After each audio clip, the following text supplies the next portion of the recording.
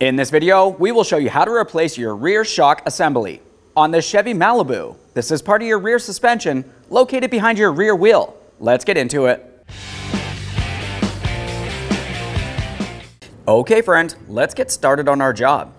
The first thing you need to do is safely raise and support the rear of the vehicle so the wheel's off the ground. Once you've done so, continue on to removing all five of your 22 millimeter lug nuts and then the wheel.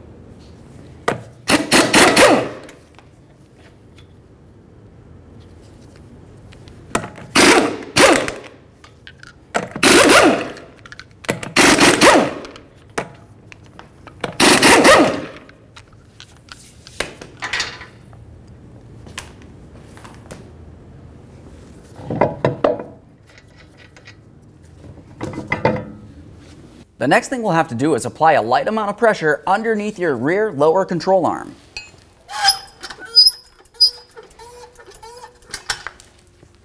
While holding pressure under that area, let's continue on to removing the lower mounting bolt that holds the lower shock to your rear knuckle. You'll find this is held in place with a 21 millimeter headed mounting bolt and a 21 millimeter mounting nut. The nut is on the outboard side here, we'll hold that with a wrench.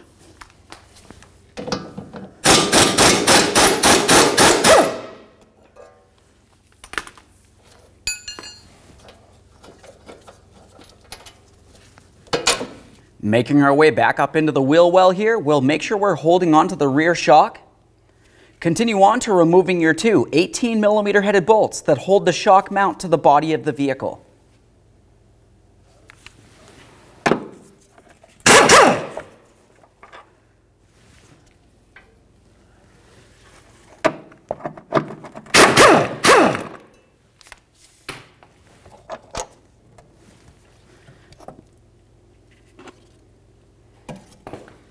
Let's get this over to the bench.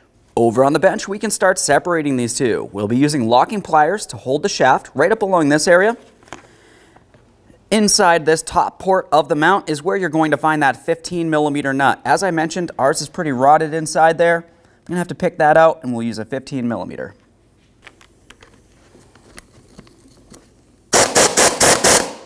You may have to adjust your locking pliers if you find the shock shaft spins.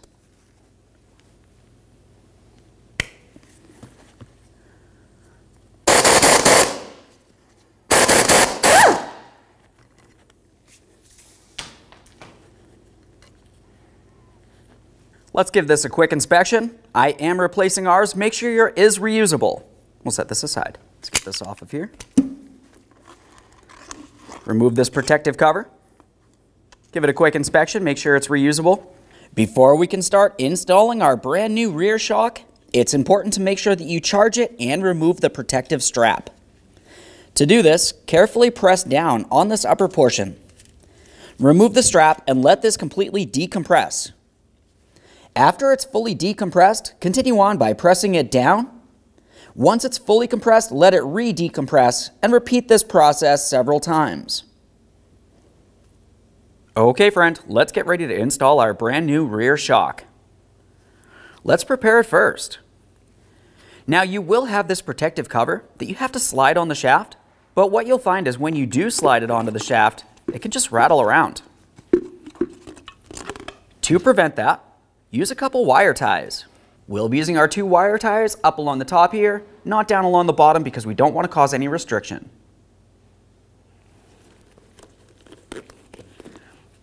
Let's tighten this up on here.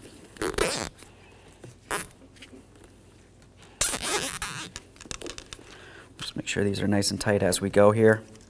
It's good to try to prevent these from sliding down the shaft. Once again, we do not want to cause any restriction in the shock. Make sure that's tight as can be.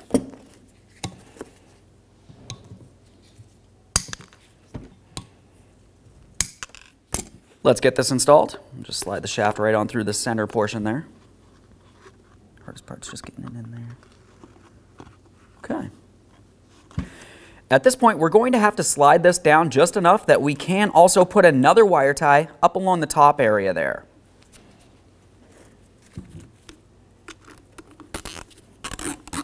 When putting this together, keep in mind you do have to have the mount along the top.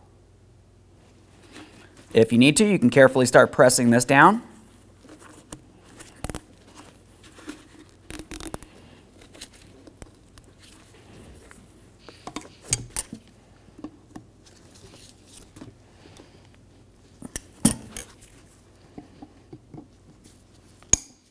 Now it's time to install the rear mount. We'll slide this onto the shaft of the rear shock. Continue on with your mounting nut.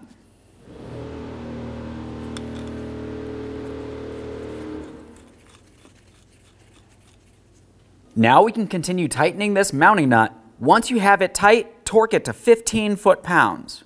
To tighten this 16 millimeter headed mounting nut, you're going to find that the shaft of the rear shock will want to spin. To hold this still, we're going to carefully use some locking pliers once again up along the top area of the shock piston, never down low on the piston.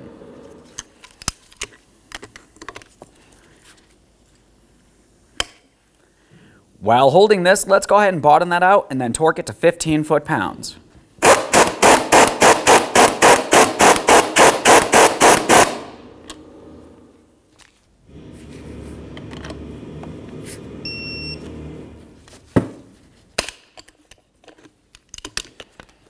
Let's get this in the vehicle. Let's get this shock in here, being careful for our fender. Start aligning it with the body up along the top here. Once you have it in position, we'll continue on with our two mounting bolts. If you're going to use anything, use a little bit of blue thread locker, never red, and never use any type of grease.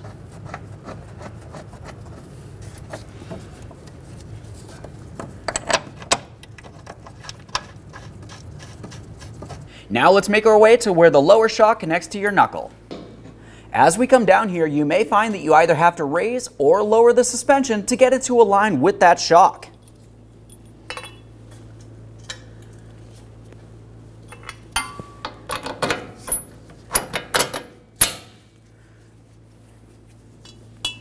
Slide the bolt through, start on your 21 millimeter headed mounting nut.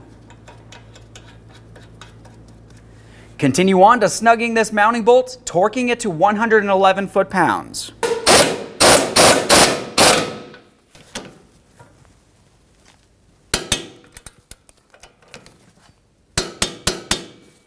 Once you have that torqued, continue tightening it an additional 60 degrees.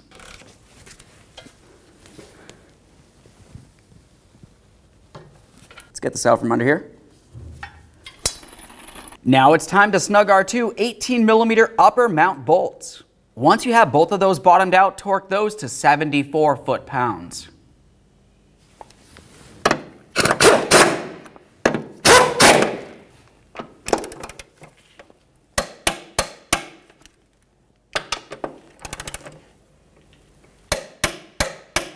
One last thing before we put the wheel on, double check to confirm you tightened and torqued everything as necessary. All right, let's get the wheel on here.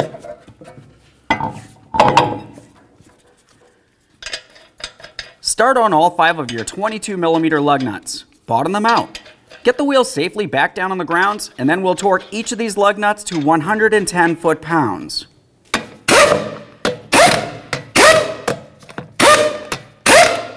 With the wheel back on the ground, we'll be torquing these in a crisscross manner.